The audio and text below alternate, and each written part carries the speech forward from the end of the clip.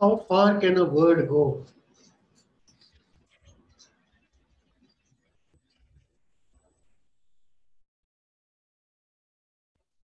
Goes as far as we allow it to go, or we make it go.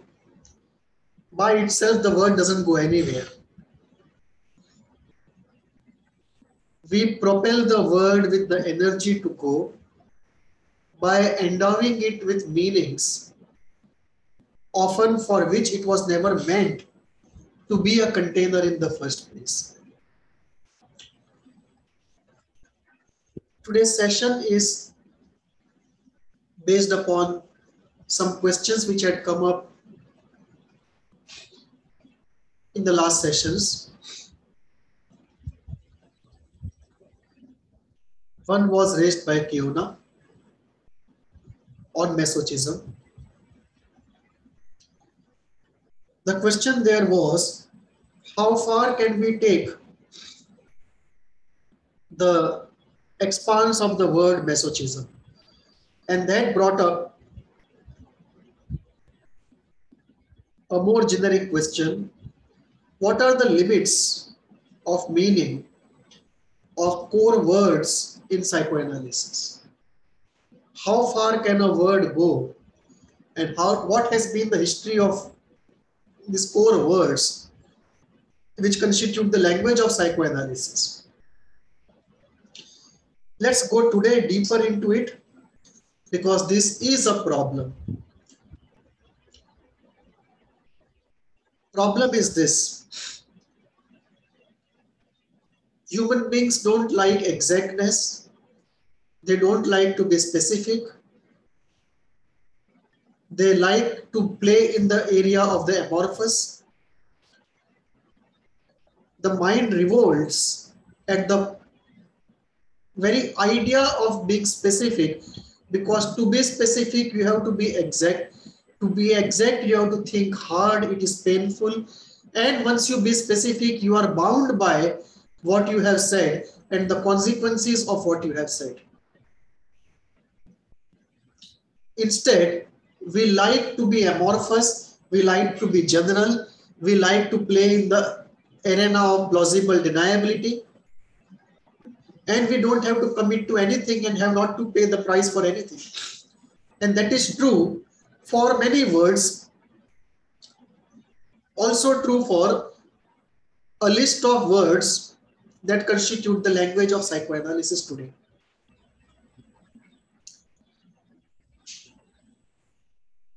Words like love and socialism, they mean everything to everybody and nobody really knows what it means. Same is the fate of many words in psychoanalysis. Words have been stretched to absurdity. Words have been stretched to start containing in themselves the opposites of what they used to stand against. So masochism is so stretched that in the extreme, it contains even sadism.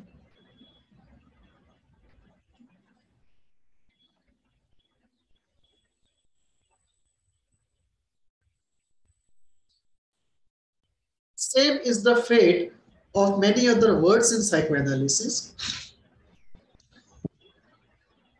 Problem here also is of language. Not only the fact that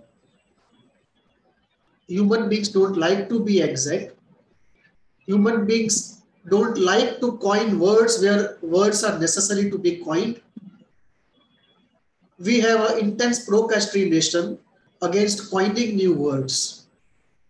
And that makes us use the same word for two different things for which there is no need there is no inherent limitation in the number of sounds that we can generate.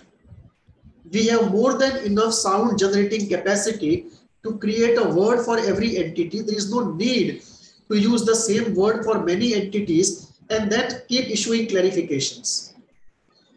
However, people love to do that. It's almost a favorite pastime of intellectually driven And this is true not only in terms of meaning, but also in terms of how we pronounce a word. Our language is very inexact, very lawless. So words don't have one exact meaning. Words don't have one exact pronunciation what they call the richness of the queen's tongue. I call it the looseness of the language. And this looseness of the language is in full play in psychoanalysis. So let us look at how far can we allow a word to go in psychoanalysis. Second, what is the history of travel of words in psychoanalysis. We will not go today in the philosophical aspect of the language. We will not go into what Wittgenstein had to say to save our clarity and our wisdom from the bewitchment of the language or to draw limits of thought by drawing the limits of language. And where one cannot speak, there pass over in silence. Those elements of Wittgenstein's ideas on language, which are also important to psychoanalysis, we will not deal with them today. Some other day we will discuss. Today we will confine ourselves to some key words in psychoanalysis, the stretch of their meanings, historical evolution of those words, and a generic lesson of what lesson we can draw by looking at the history of words in psychoanalysis.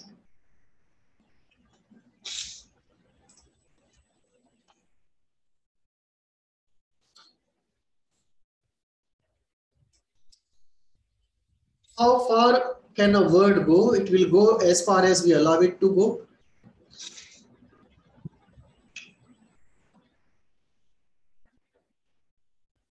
Listed here are some important words in psychoanalysis. Some of them I'll take up for discussion, others at some other time. Let me take up the first word, pleasure.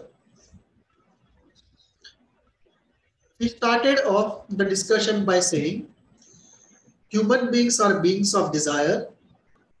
Our first desire and the core desire is to have pleasure without a moment of pain.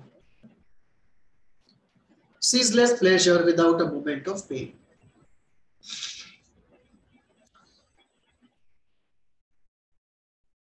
This led us to pursuit of pleasure and frustration and anger and pain that arise when our pleasure drive is frustrated. And then what happens to that frustration, pain, and anger? If they cannot be fully regulated, they can easily produce a symptom, either in the mind or in the body or both of them. This is how we started off with pleasure as the core desire of a human being.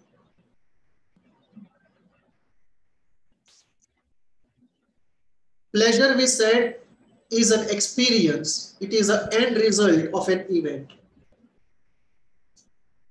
We also said pleasure can also be a state. So not only a state of feeling, but a psychological state also, if the feeling goes on for a long time. And then we said, opposite of pleasure is pain. And then we said, in masochism, pain can also lead to pleasure. So if pain can lead to pleasure, if pain can become pleasurable, then what happens to the original meaning of the word pleasure and the original meaning of the word pain? The word pleasure here gets stretched to include pain when the pain also is pleasurable. And then we said in the unconscious, there can be a pleasure of pure pain. And there can be a situation where pain is invited because there is a template, pain brings pleasure. So here, pleasure as an opposite of pain to start with. Pain as a means to attain pleasure. And therefore pain as an intermediate state in the pursuit of pleasure. Second situation.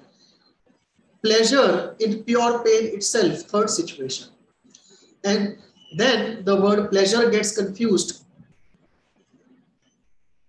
because if pleasure is pleasure and the pain is also pleasure, how do we separate pleasure from pain? And obviously, we require three different words here. A normal pleasure, if we say P1,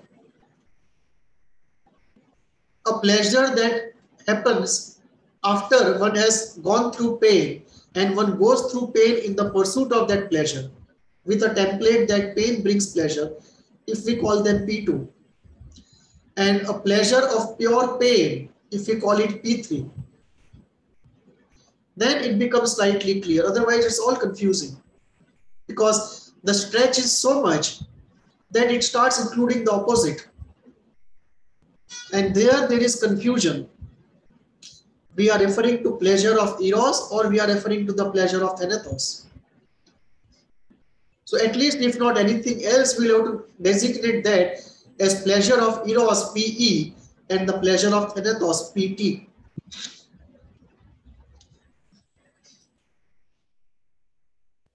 Take up, let us take up one more element. Let me take up uh, aggression.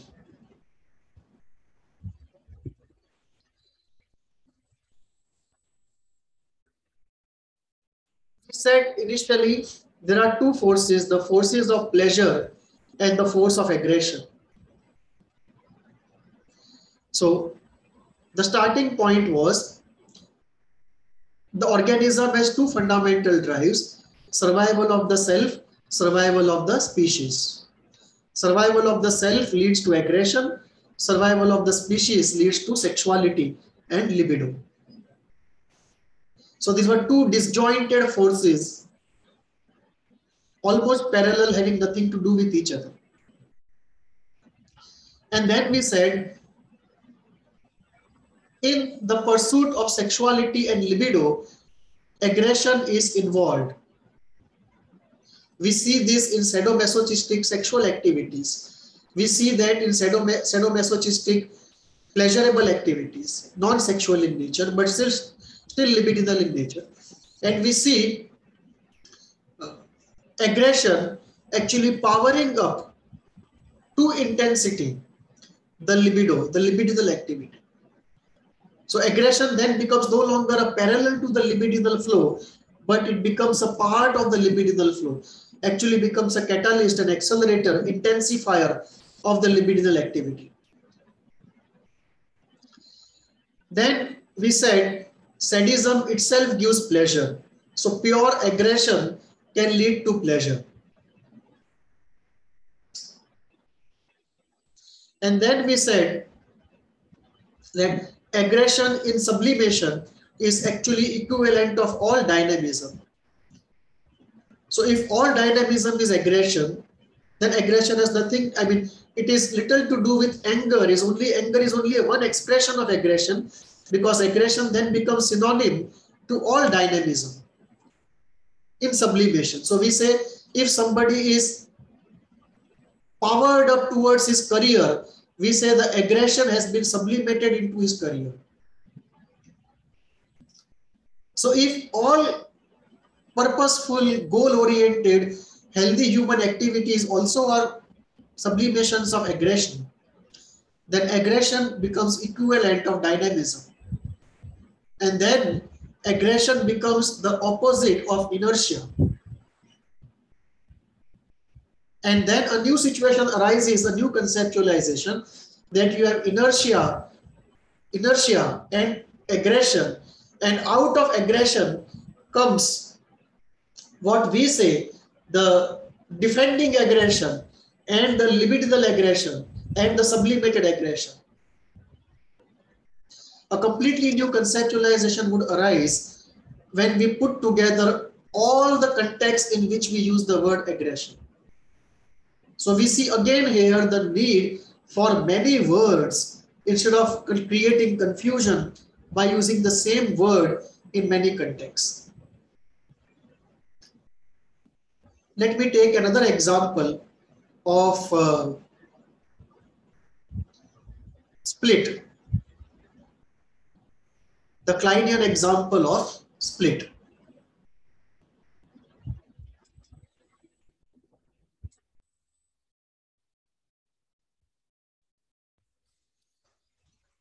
Let's take one more example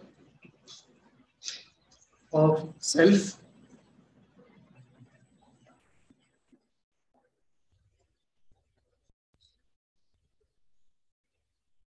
We started off by using the word self for the conscious part of our being.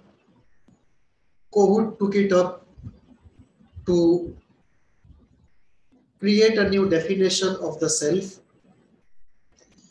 where ego becomes one part of the whole large self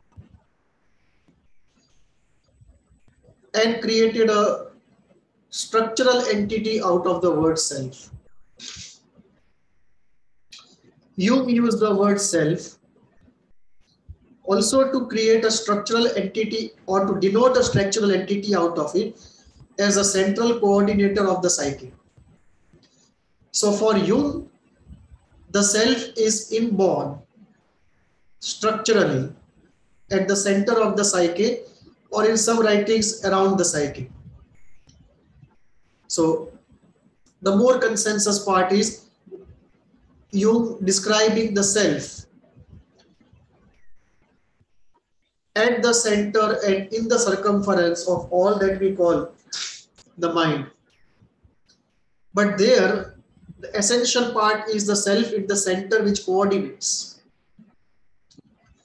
So it becomes an inborn structural entity of coordination of the mind according to a program of life through the activation and deactivation of the archetypes. Winnicott uses the word self in a very different way to denote the true self and the false self. Jung's use of the word self is in a structural inborn sense Winnicott's use of the word self is in the sense of a phenomenologically created entity. And Kohut's use of the word self is in between.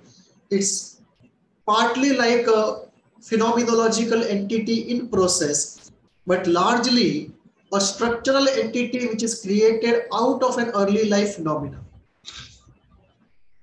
So partly it is like you, a structural entity, but not inborn, created out of early life phenomena. And partly it is in process, like Winnicott's use of the word self.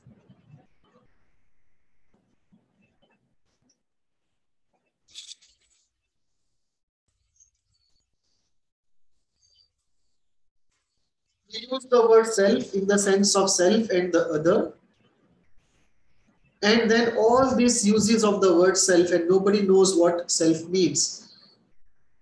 Again, the same problem of not using different words for different entities and unnecessarily creating confusion.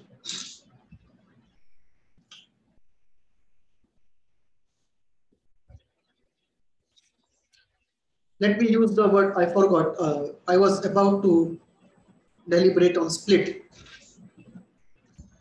Klein uses the word split to denote early life developmental stage where the good and the bad are completely seen as poles apart. The pleasant and the unpleasant, the safe and the dangerous constitute two ends of a continuum and one is able to think in a primitive way only in terms of the ends of a continuum. It is extreme thinking with which we begin thinking. Just as we emerge out of fantasy. And there, how far can we take the word split?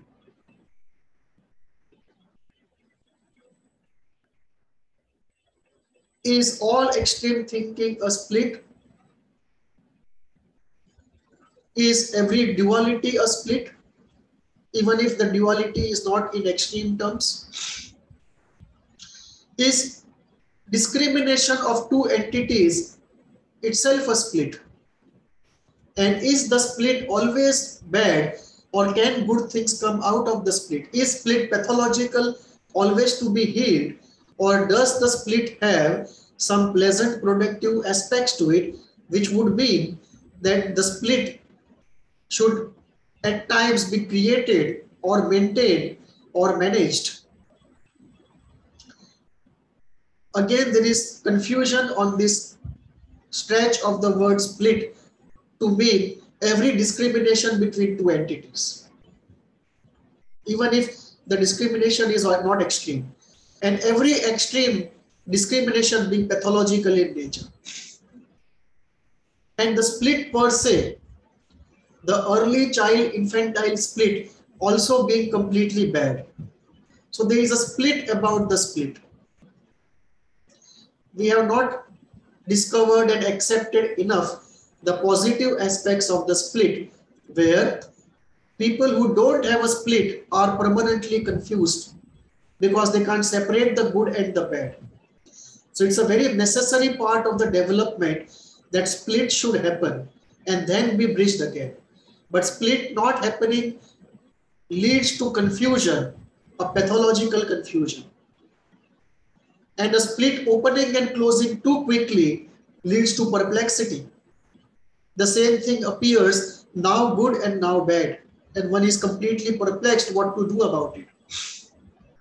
So the split happening and remaining stable is very necessary for a time. And there are good things which also happen in this. And then the resolution of the split rather than a wholesale denigration of the phenomena of split. Point here is how far can we take it? Can we take split to all that is bad? Can we take it to all that is extreme in dualities? Can we take it to all dualities? Can we take it to all sense of discrimination? Can we take it to all separations? How far can we take split? So,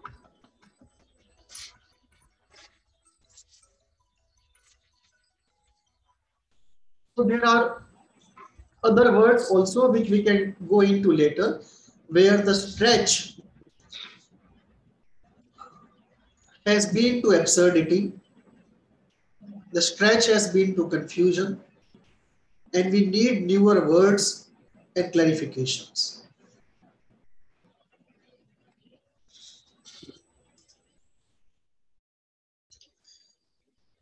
From the stretch of the words, the travel of the words, let us come to the history of what has happened to words in psychoanalysis.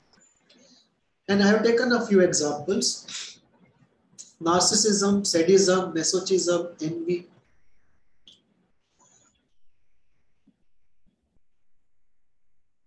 Initially, narcissism started off, or for that matter, take the case of hysteria that we were talking about.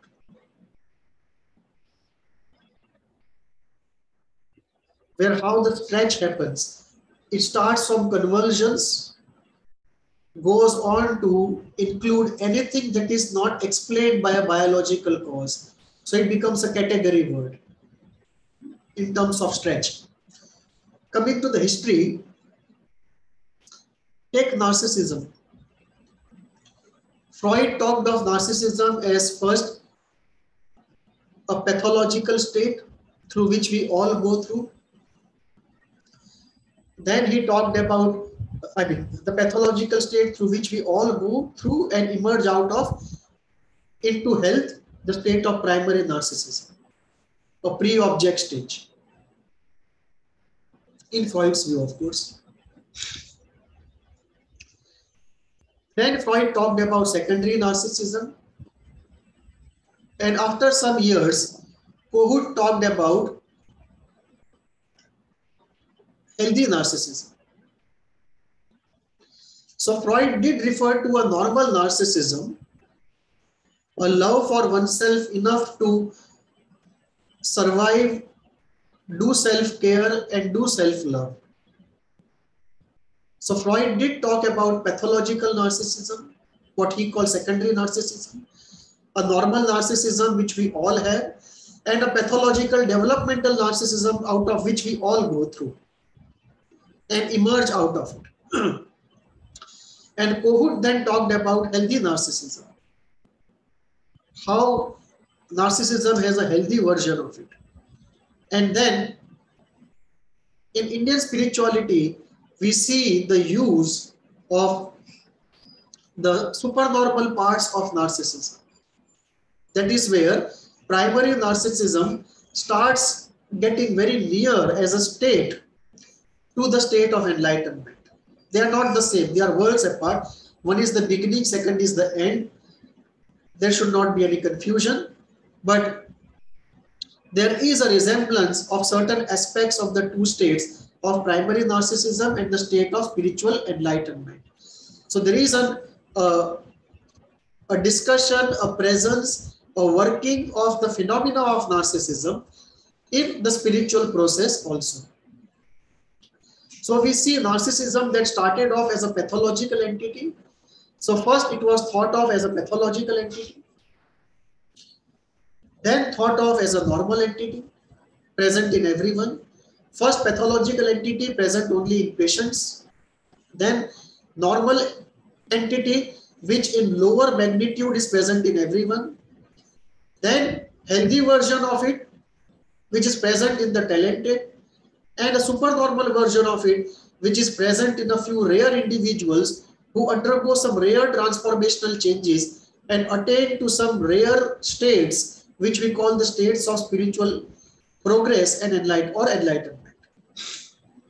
So we see how narcissism goes from being called pathological to normal to healthy to supernormal.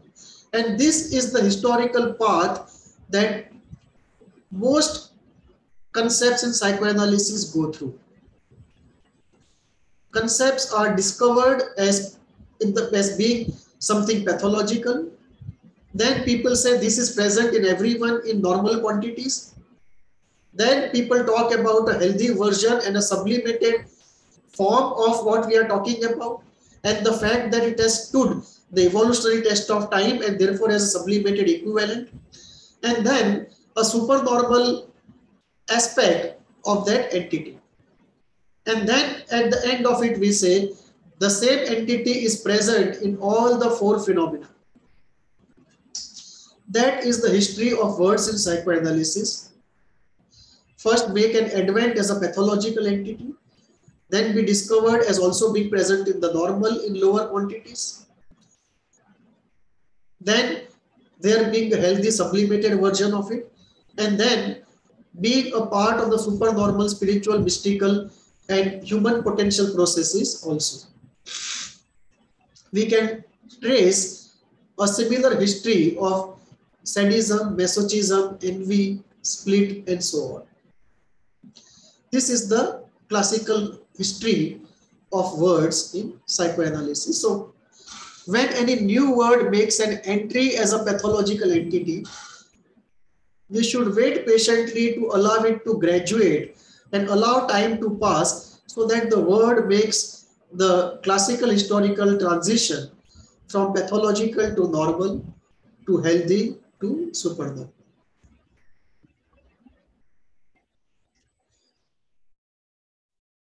Any questions on this?